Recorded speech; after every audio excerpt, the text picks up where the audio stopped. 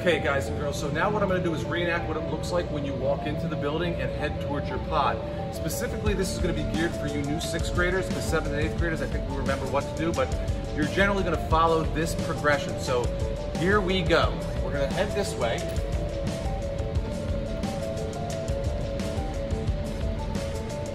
And as I'm walking, I'm gonna head down towards the pods.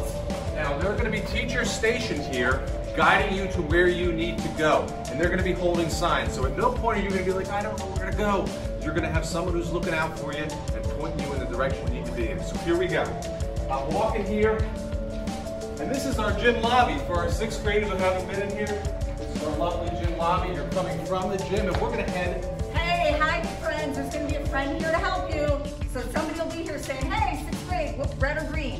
And then we're gonna tell you where to go from there. Go ahead, Mr. Green. Okay, now here we go. And this is where you're gonna head down the related arts hallway and we're gonna go and end up in our pods. That's Frank Romeo. Okay, so I'm walking down here. At the end of the pod, you can see a sign and we can see Mr. Romeo. We're gonna say hi. Hey, Mr. Romeo. This is our one of our friendly fellows who's working really hard to get these buildings ready for you. So we really appreciate that.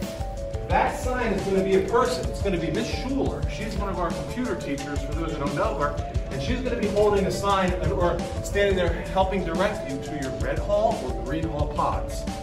Here we go. No running, No. Mr. Green. No running. We're socially distant. We're taking our time. My dad packed my lunch today. I'm really excited. I wonder what he packed for me. Hey, Mrs. Schuler. How are you? I'm in Red Hall. Where do I go? And Miss Schuler, what she's going to do, if you're in Red Hall, you're in sixth grade, see straight down there? That's where you're to head. All the way down straight till you can't walk anymore. And there will be teachers pointing you to your homeroom. So they might say, hey, and you're to say, hey, I'm Steven. I'm in 312. You go right there. I'm Susan, and I'm in 310. You go right there.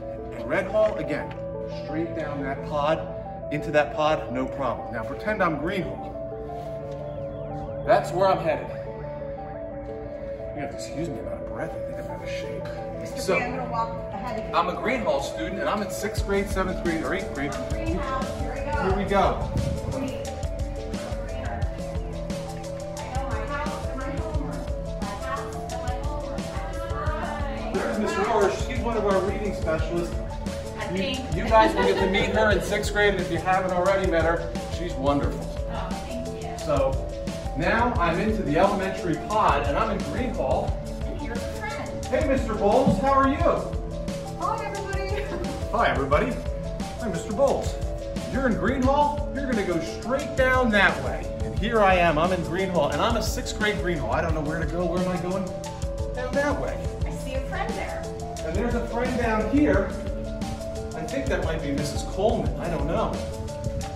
For you in sixth grade, you're not going to know who it is. So you're going to come to the teacher who's holding up a sign that says sixth grade green.